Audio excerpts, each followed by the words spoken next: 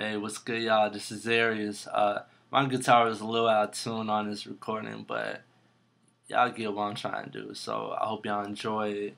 Uh, it's Pretty Girl Rock by Keri Hilson.